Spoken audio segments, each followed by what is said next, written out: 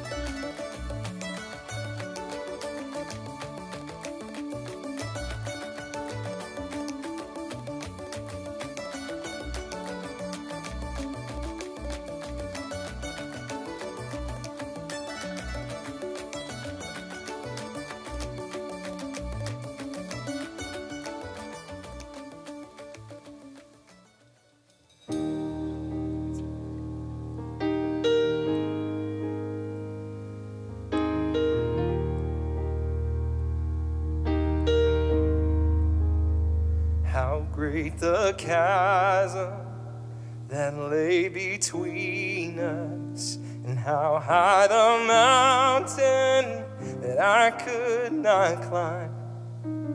In desperation, I turned to heaven and spoke your name into the night. Then through the darkness, your loving kindness tore through the shadows of my soul. The work is finished, the end is written. Jesus Christ, my living hope. Who could imagine mercy? And what heart could fathom such boundless grace? The God of ages, He stepped down from glory to wear my sin and bear my shame. The cross has spoken, and I am forgiven.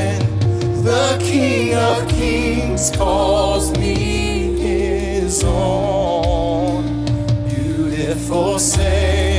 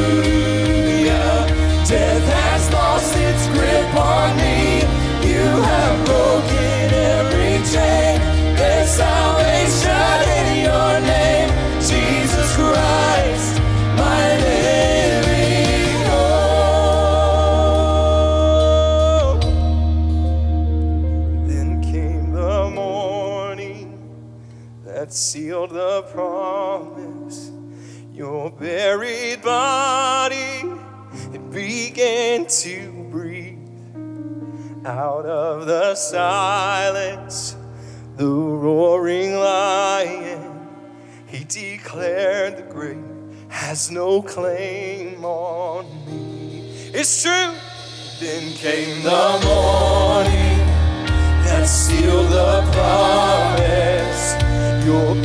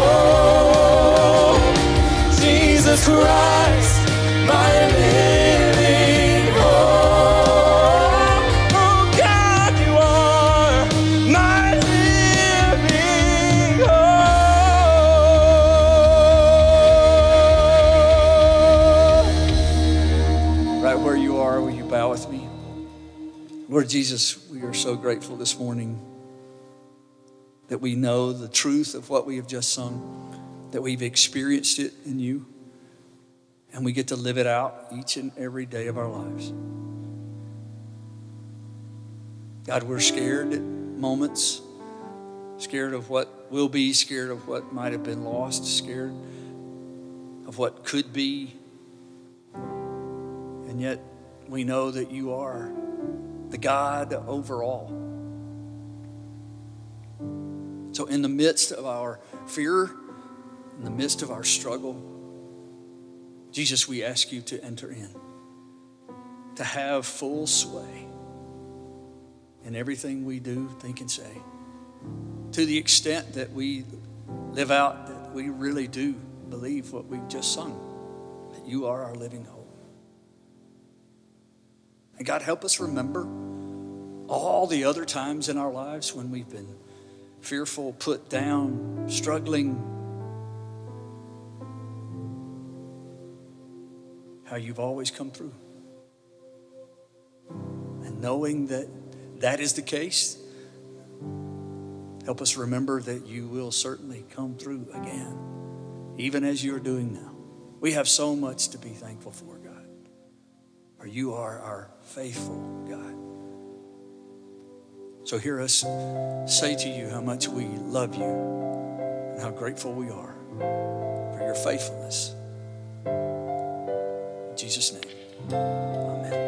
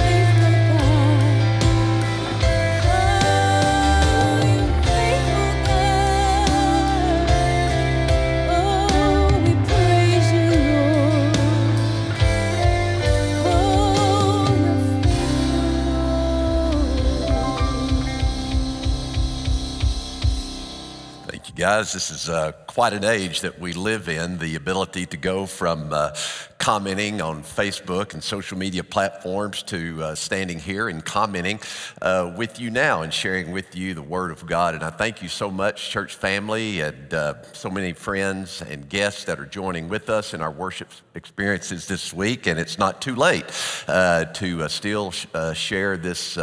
This live feed and invite others to be a part of our worship this morning. But I'm so glad that you're here joining with us this morning. It is, uh, even though you are not in this room, it is uh, somewhat encouraging to look around and to see all of these pictures in this past week, uh, to be able to walk up and down these aisles in our sanctuary in a spirit and an attitude of prayer as I looked upon your pictures here. And uh, it dawned upon me that uh, as I'm looking at these now, Nobody's going to fall asleep during the sermon here. Uh, everybody's eyes are fixed and looking forward, and so that is uh, that's certainly an encouragement. But just but just seeing these certainly is no substitute for you being here, and we will look forward to that. And until our gathering again, uh, what I have been uh, praying about in uh, the weeks ahead, however long this is, uh, I have been reading through the prophets in the Old Testament, uh, primarily uh, Jeremiah and Isaiah, and it's just. It's almost haunting uh, as I've read their words and their message to the people of God as they were in exile, uh, experiencing their exile experiences. And it's a reminder, as I've shared with you on, on many occasions, that exile is much more than just a geographical displacement. Yes, what the Israelites experienced was in part a, a geographic displacement, being taken from Jerusalem, Judah, uh, into Babylonian exile, Persian exile and, uh, but as I've explained before to you all these years, that exile, we each have exile experiences. It is something that blindsides us, it is something that is disruptive uh, to the sense of normalcy that you have in your everyday life, something that disrupts the framework of your life, that, that provides for each day a sense of structure and how all of that has been removed in these uh, many weeks, and lives continue to be impacted. A word uh, that keeps coming up, many are experiencing is uh, the word furlough. Many are uh, experiencing job loss uh, during these days. Uh, people continue to pass away. Many of our families are, are in grief, just uncertainty. And as I've been reading through these, these two prophets, Isaiah and, Isaiah and Jeremiah, I have just found so much similarity and uh, how timeless their message was to the people of God then, and how timeless it is uh, for us today in our circumstances. And so I'm going to try to frame over the series of these weeks, however long that might be, a, a series for us called Prophets and Pandemics. Uh, because besides this, this viral pandemic, uh, that is defining this season in life, I'm seeing other kinds of pandemics as well that uh, are no less threatening. Uh, pandemics of fear, a pandemic of uncertainty, pandemics of anxiety that are prevalent, uh, a pandemic of discontent that is present in the lives of, of so many. And if I were a coach, I would say to you in circumstances like this, if I were a coach, uh, I would say, do not, do not forget and do not uh, forget to take advantage of this loss. As your pastor, I would say, uh, do not miss out on taking advantage of this season. That is the opportunity to learn through this season. And I think that's a fair question, even at this time, is what are you learning through this? These feelings and emotions that, that are very real, that are very troubling. Those feelings of fear, uncertainty, anxiety, discontent that, that, you, that we are all dealing with and facing. What is it, what is it exposing to you? Uh, what has it revealed to you as a person? Uh, what has it ex- exposed about your faith? Uh, are you where you want to be? Uh, what you're experiencing now, whatever happens in life after this season, uh, is it is a faith being exposed that gives to you a sense of, of foundation, a sense of stability? Or has your faith been exposed in a way that, that is troublesome to you, that you recognize that is lacking? Is there something that needs to be shored up? Does your faith need to be stretched all the more? And if that is the case, as it is, I think, for all of us, I, I think it says to us do not miss the opportunity that is being presented to us. An opportunity to learn about ourselves, an opportunity to learn more about our faith and the quality of our faith. So don't, don't waste this opportunity. Because the reality is, is we can face this season that we're in, we can go through this, and we have this sense of, many have this sense of holding on. I just need to get through this. That if I can just, if I can just get to the other side of this, of this pandemic, if the shut in status will just be lifted and, and we can get to the other side of this, then I can, then I can rest again and I will, I will be content. We think our contentment rests on the other side of this pandemic, but it doesn't. Do you know what's on the other side of this, of this pandemic? It's just more circumstances. Life isn't going to go back to what it was before the pandemic. As we find ourselves on the, on the other side of this, when these circumstances end, we're going to find that, that more circumstances await us. We'll probably not experience another pandemic in our life, but there, there are other experiences in life that are, going to, that are going to blindside us, that are going to take us into another exile experience where things are going to be things are going to be disrupted, where life will not seem normal. That's just life.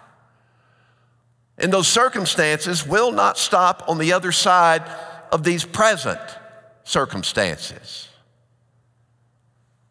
And so I think it brings us to this text this morning. That's why I so value this text this morning in, in Isaiah in chapter 26. And I want to borrow from, from Isaiah and the inspiration that God gave to him and, and his counsel to the people of, of God and, and share with you some things from, from his experience and his message to God's people then in their exile experience. I, I want to share some truths with you this morning that will, that will help you in the development of your faith and the, the, the development of our character, of our faith, and the strength of our faith, I want to offer some wisdom, some truths that bring about contentment in any context, regardless of circumstances. Two little verses where so much wisdom is to be found. We notice, first of all, and I'm going to, to address this text in a way that uh, I'm going to jump back and forth a bit. But, but the first thing that I think has to be foundational, this is why I'm going to start with the end of verse 4 than rather the beginning of verse 3, because what I'm about to say is something that is foundational to understanding contentment overcoming a sense of discontent, but, but finding ourselves content in all things, the content that we so desire, the contentment that we so desire in any circumstances in life is something that is established by the Lord our God. Contentment is not something that is accomplished, that comes about as a result of our circumstances in life. We hopefully understand that. But the contentment that we desire, that sense of rest and peace and contentment, that is something that is established by the Lord our God. Notice in verse, verse 4, it says, Trust in the Lord forever. For in God the Lord, we have an everlasting rock. In the Lord, for in God the Lord, we have an everlasting rock.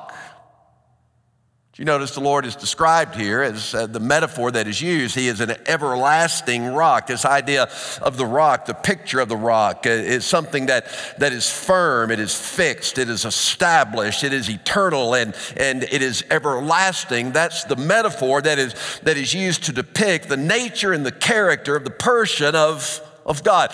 It is immovable.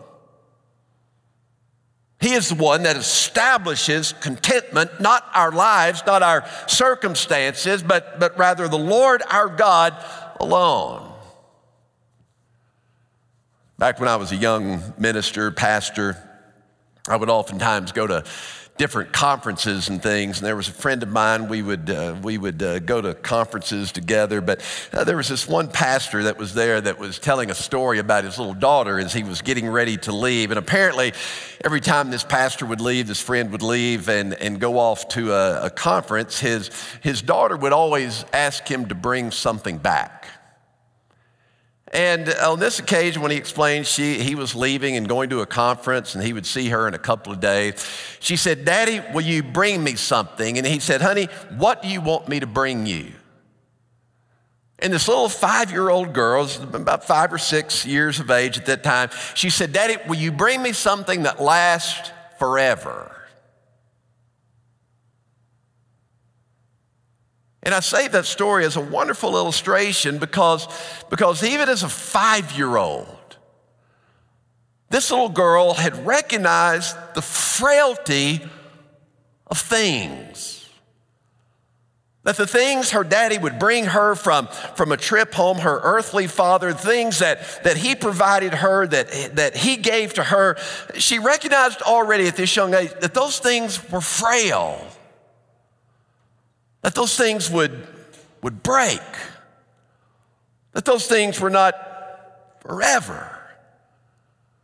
And Isaiah is saying, such is the nature of, of this world. You had fixed your hopes on all the wrong things, but it's only God the Lord, the Lord our God, that is an everlasting rock, that, that in Him alone can you find contentment. In Him are things fixed and established and eternal forever.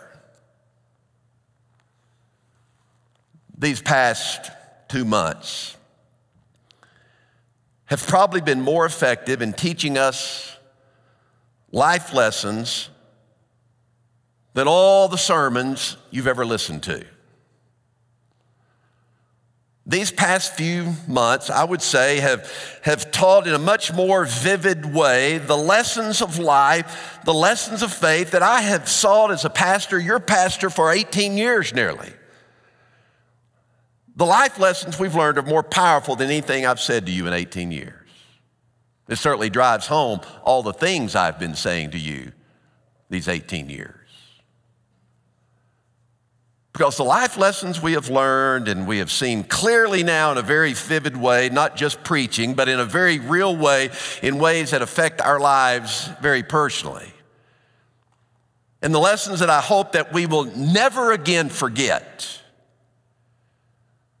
is that the things of this world, things that we thought were so big, so large, so monolithic, so established that they could be trusted. I'm talking about things like, like government, things like the economy, things like, like our healthcare system, as good as they may be, as monolithic as they may be, as large as, as they may seem, that, and just the scales that, of these things that we cannot even imagine, that we thought were immovable.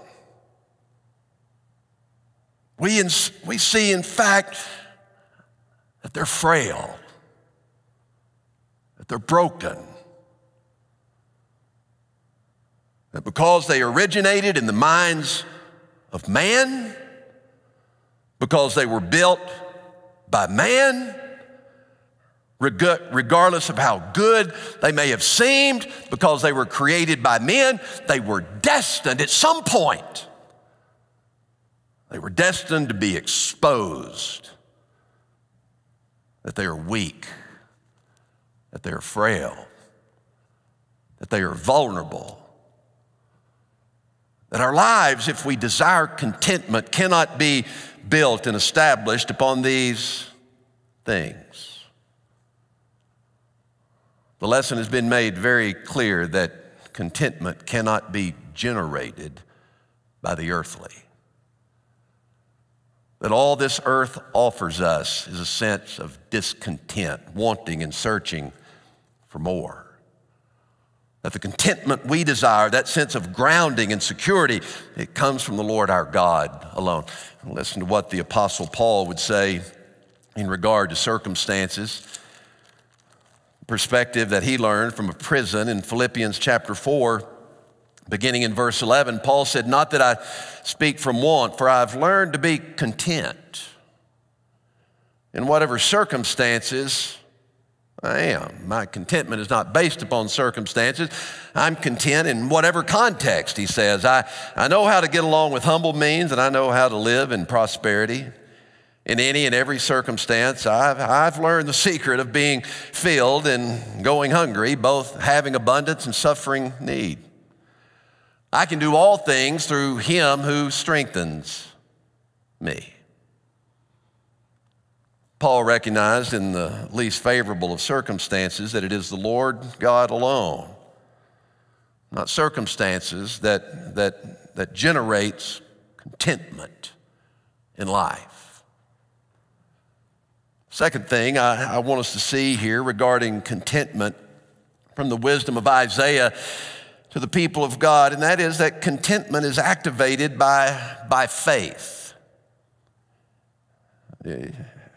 Prophet would write in that first clause of verse 3 uh, listen to this closely. He says, The steadfast of mind you will keep in perfect peace. Now, in, in the Hebrew, that, that perfect peace, translated that phrase perfect peace, it's literally peace, peace. It's a, it's a double measure of peace that, that comes when someone trusts in, in God. Now, the, the word here, steadfast, that he utilizes, the word steadfast is a word that, that, that means to lean more. Now, the fact that he says the steadfast of mind, He's saying that, that you need to, to lean more and more. You need, to, you need to be in your mind, you need to be deliberate, you need to be intentional. It's your choice. You have to make a determination, a willful determination in your life, whatever the circumstance, whatever the context of life. It is your choice, it is your decision what you're going to lean into.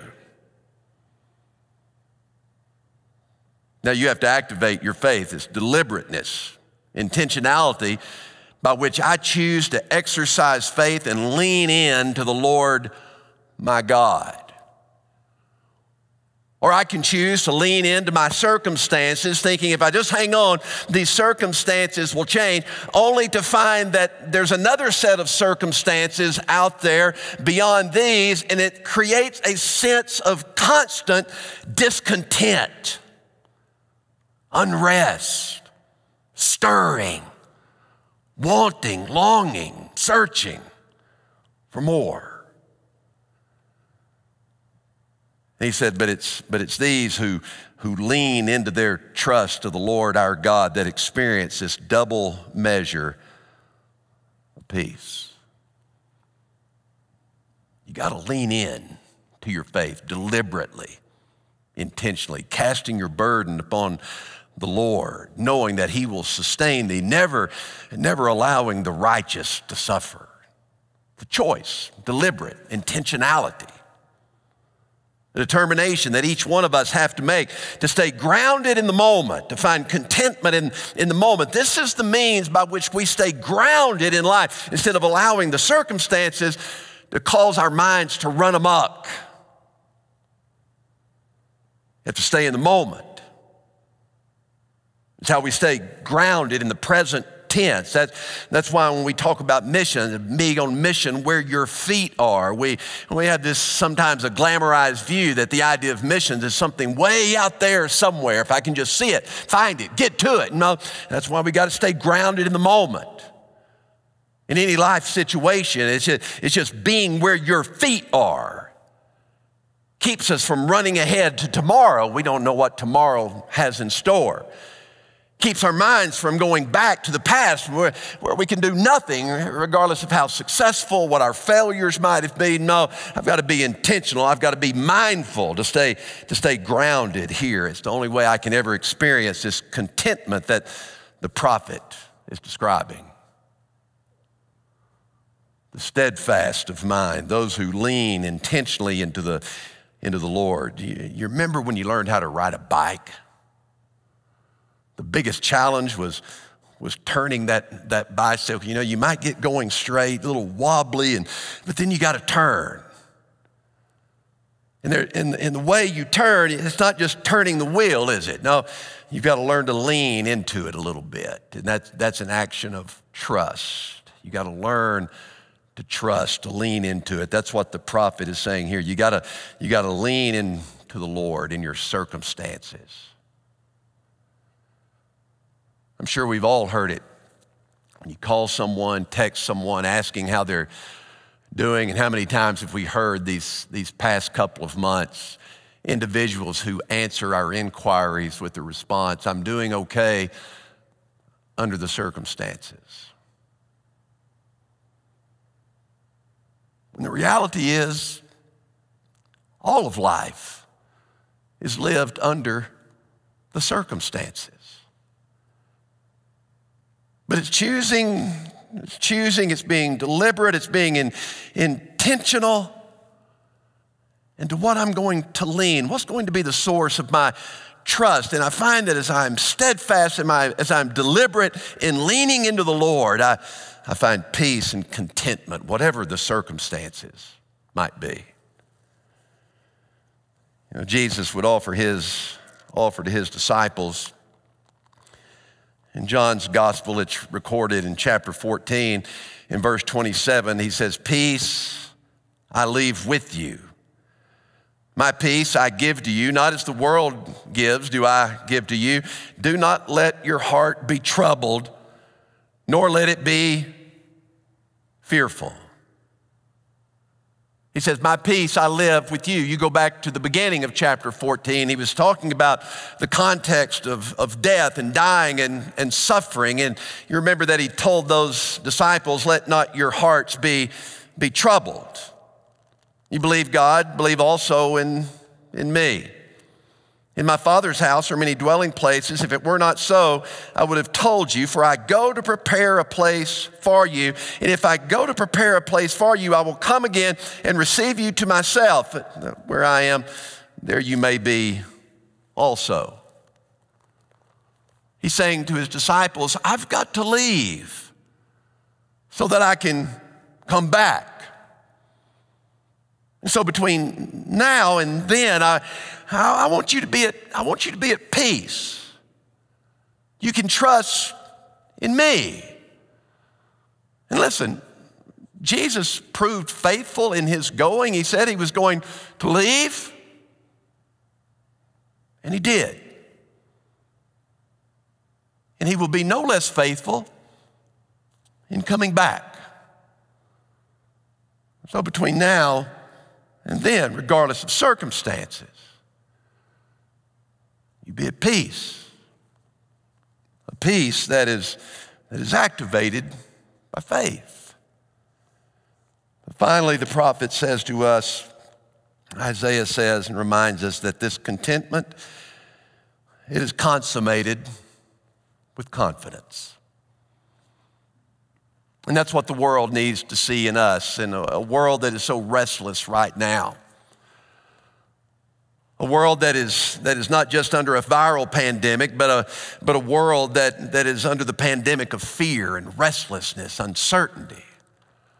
I hope that you and I, what we are evoking, what they are seeing in us, in our conversations and our postings, I hope that what they are seeing us in us is a sense of confidence confidence in, in the provision of, of God, a, a confidence that all things will work together for good. That last line in verse 3, he says, The steadfast of mind you will keep in perfect peace because he trusts in you.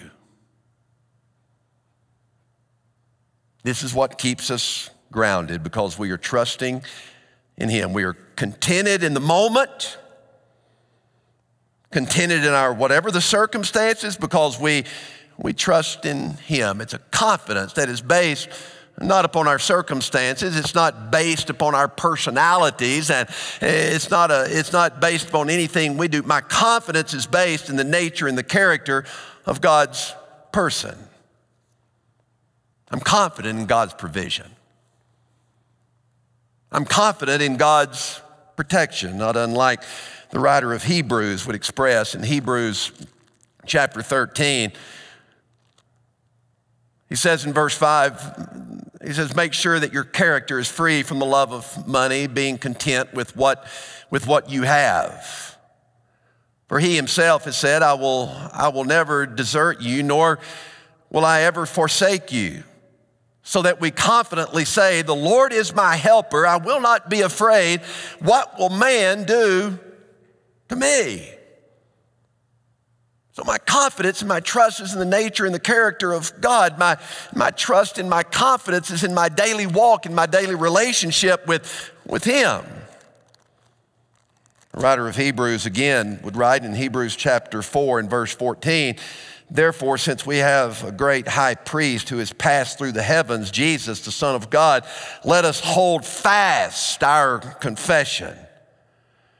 For we do not have a high priest who cannot sympathize with our weaknesses, but one who has been tempted in all things as we are, yet without sin.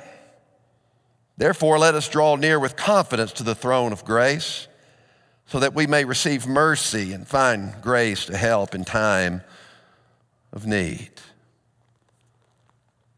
Remember that, church. Our confidence is in who He is. It's not in our, in our circumstances. It's not in the, it's not in the, the systems that, that are built by men to give structure and framework to, to, to, to, civ, to civility. Our confidence is not in, a, in an economy, it's not in a particular government, it's not in a, in a healthcare system. Those, those things have proven that they're not worthy of our, of our trust, that they were vulnerable from, from the very beginning. Our trust is not anything that is established by, by man. I would say, in fact, that that is probably one of the most compelling reasons for my belief in God in the vast panorama, panorama of reasons why, why I would believe in God when uh, individuals would ask, well, what, what's the basis of your faith in God? Why, why do you even believe in, in God? In no small part, my, my answer, uh, among all these reasons that I would offer, that I can't prove it, it's a faith proposition. I think I have some very reasonable arguments for the existence of God and very compelling reasons. Not least of which is that my belief in God is in no small or small part due to my disbelief in man. For me, that's a very compelling reason for belief in God. For the fact that man cannot be trusted that man is frail, that man is weak, that man is, is broken. And in fact, I would say that the events of, of the past two months, the events of these past six weeks, especially, I, I would say that instead of my faith being shaken or my faith causing me to question all the more the care and the provision of God, no, I would say that, that the events of these past weeks have confirmed all the more my belief and my faith in God.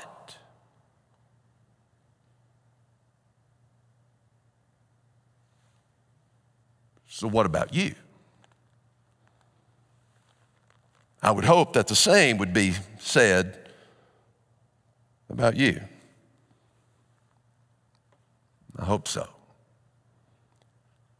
Because it's only in Him that we will ever find contentment.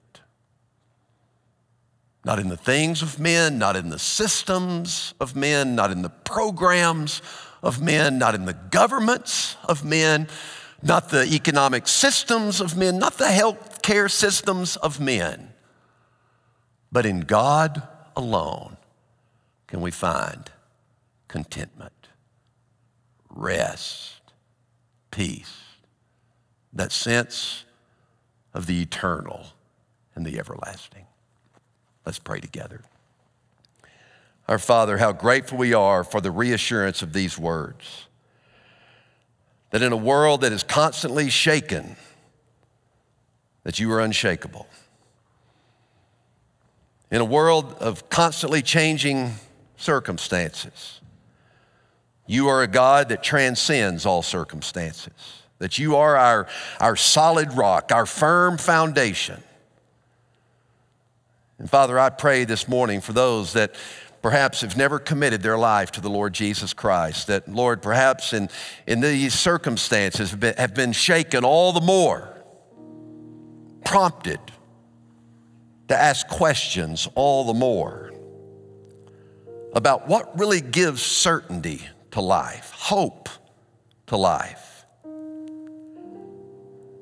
Father, I pray at this vulnerable time, this time of being open, this time of inquiry, that some today would choose to follow you.